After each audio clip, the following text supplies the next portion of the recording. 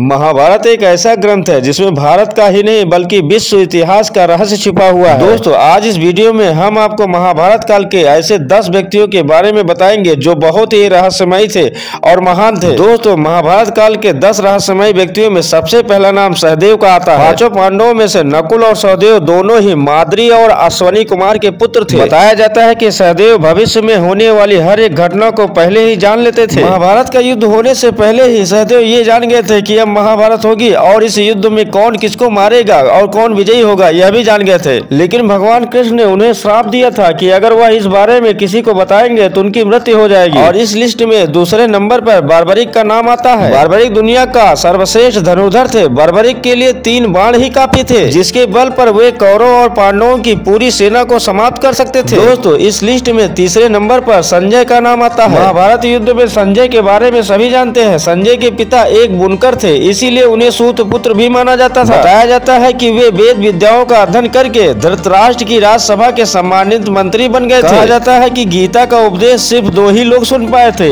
एक अर्जुन और दूसरा संजय। बताया जाता है कि संजय को दिव्य दृष्टि प्राप्त थी अतः वे युद्ध क्षेत्र का समस्त दृश्य अपने महल में बैठे बैठे देख सकते थे। इसीलिए संजय युद्ध क्षेत्र में हो रही सभी घटनाओं का विवरण धृतराष्ट्र को सुनाया करते थे। संजय को यह दिव्य दृष्टि महर्षि वेद व्यास ने प्रदान की थी। बताया जाता है कि महाभारत के युद्ध के पश्चात जब धृतराष्ट्र की मृत्यु हो जाती है तो संजय हिमालय पर चले जाते हैं। वहाँ से वह कभी लौट कर नहीं आते। दोस्तों इस लिस्ट में चौथा नंबर अश्वस्थामा का आता है। गुरु द्रोणाचार्य के पुत्र अश्वस्थामा हर विद्या में प्रांगत थे। वे चाहते तो पहले ही दिन युद्ध का अंत कर सकते थे। लेकिन कृष्ण ने ऐसा कभी होने नहीं दिया। कृष्ण यह जानते थे कि पिता पुत्र की जोड़ी मिलकर युद्ध को समाप्त कर सकती है। ऐसा बताया जाता है कि अश्वस्थामा आज भी जीवित है। क्योंकि कृष्ण ने उसे श्राप दिया था कि वह तीन हज़ार वर्ष तक निर्जन स्थानों में भटकता रहेगा। इसलिए अश्वस्थामा आज भी जीवित है। और इस लिस्ट में पाँचवें नंबर पर कर्ण का नाम आता है। बताया जाता है कि कर्ण को जन्म से ही भगवान सूर्य ने उसे कवच और कुंडल प्रदान किया कर्ण महादानी भी था इसलिए इंद्र ने छल से उसे कवच और कुंडल दान में मांग लिया था। क्योंकि इंद्र जानते थे कि यदि कर्ण के पास कवच और कुंडल रहेगा तो कोई भी उसे युद्ध में परास्त नहीं कर पाएगा और न ही वह मारा जाएगा। दोस्तों इस लिस्ट में छठवें नंबर पर भीम का नाम आता है। बताया जाता है कि भीम कुंती और वायु के पुत्र थे, अर्थात भीम पवन पुत्र थे। बताया जाता है कि भीम में हज़ार हाथियों का बल था। उन्होंने एक बार अपनी भुजाओं से नर्मदा नदी के प्रवाह को भी रोक दिया था। युद्ध में भीम से ज़्यादा कोई भी व्यक्ति शक्तिशाली नहीं था। और इस लिस्ट में सातवें नंबर पर घटोचक का नाम आता घटोचक भीम का पुत्र था। माना जाता है कि कद काठी के हिसाब से भीम पुत्र घटोचक इतना विशाल काय था कि वह लात मार कर रथ को कई फुट पीछे फेंक देता था। और सैनिकों को वह अपने पैरों से कुचल देता था। भीम की असुर पत्नी हिडिम्बा से घटोचक का जन्म हुआ था। और इस लिस्ट में आठवें नंबर पर भीष्म का नाम आता है। बताया जाता है कि भीष्म को इच्छा मृत्यु का वरदान प्राप्त था। वे बिना अपनी इच्छा के नहीं मर सकते थे। भीष्म एक महान और शक्तिशाली योद्धा थे। कोई युद्ध में परास्त नहीं कर सकता था। बताया जाता है कि उन्होंने अर्जुन से अपने मृत्यु का रहस्य बता दिया था और तब अर्जुन ने उन्हें बाणों के सैया पर लिटा दिया। और इसके बाद नवे नंबर पर दुर्योधन का नाम आता है। बताया जाता है की दुर्योधन की माँ गंधारी ने दुर्योधन का शरीर वज्र का बना दिया था, जिसे किसी धनुष या अन्य किसी हथियार से छेदा नहीं जा सकता था। लेकिन दुर्योधन के कमर के नीचे का कुछ हिस्सा प्राकृतिक रूप से कमज़ोर था, जिस पर भीम ने गदा मार कर उसकी हत्या कर दी। दोस्तों, इस लिस्ट में दसवें नंबर पर भगवान कृष्ण का नाम आता है। भगवान कृष्ण सोलह कलाओं में माहिर थे। वे जितना मायावी थे, उतना ही मानवीय उनके रहस्यमय व्यक्तित्व को बड़े बड़े योगी और तपस्वी भी नहीं समझ पाए थे। दोस्तों, यहाँ हम आपसे एक रिक्वेस्ट ज़रूर करना चाहेंगे कि महाभारत के इन सभी योद्धाओं के लिए एक लाइक ज़रूर कर दीजिएगा।